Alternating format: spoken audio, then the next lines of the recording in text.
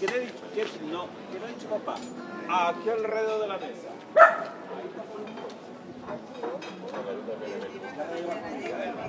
Cuatro uno.